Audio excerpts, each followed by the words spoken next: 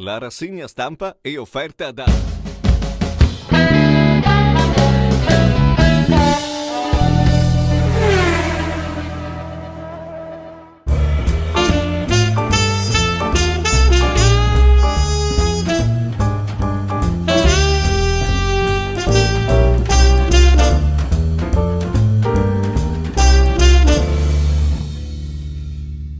Giovedì 19 novembre, buongiorno a tutti e ben ritrovati all'interno della nostra rassegna stampa. Andiamo a leggere insieme le principali notizie dei quotidiani locali e nazionali odierni. Iniziamo con il messaggero assalto al covo ISIS, uccisa la mente, allerta per l'Italia, blitz a Parigi, una donna kamikaze tra i tre morti e otto arrestati di 007, regista delle stragi eliminato, la defense nel mirino. Nuovi stili di vita, resistere a paure e psicosi, manuale al tempo della jihad.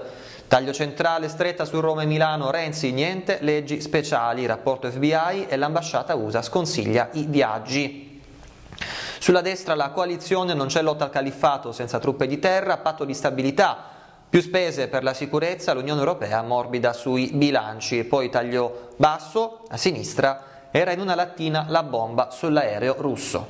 La Gazzetta del Mezzogiorno, andiamo subito alla pagina che riguarda il Salento, caso Xylella, i quattro esperti nelle campagne brindisine oggi a Bari, estirpazioni bloccate a Torchiarolo, gli ispettori dell'Unione Europea ora vogliono capire. La Gazzetta di Lecce, spintarelle per un posto, così scattava l'assunzione, sospetti sulle presunte pressioni di politici e sindaci, retroscena delle dichiarazioni dell'imprenditore di Taurisano che ha scoperchiato la pentola.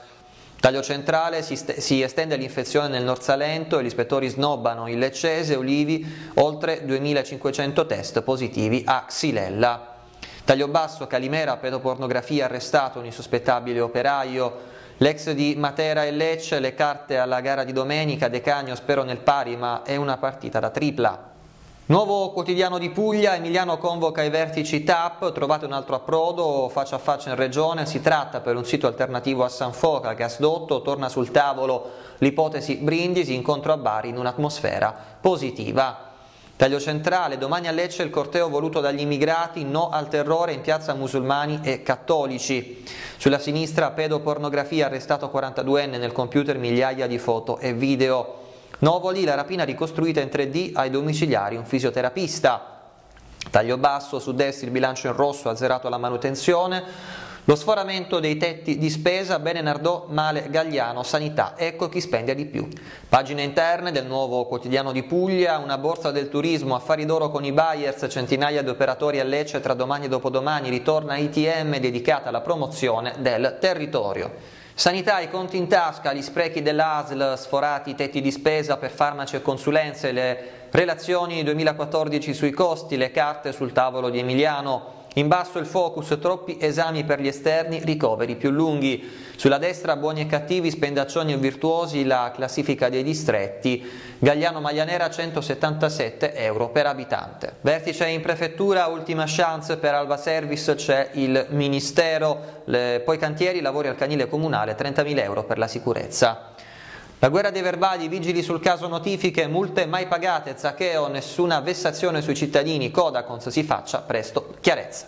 Ed infine lo sport, Galli punta su Braglia, è un tecnico vincente, vecchio amico, abbiamo giocato insieme nella Fiorentina, il personaggio Piero da Buono Toscano non ha peli sulla lingua. Termina qui anche oggi la nostra rassegna stampa, grazie per essere stati in nostra compagnia, vi ricordiamo a breve l'appuntamento con TG News 24, arrivederci. La rassegna stampa è stata offerta da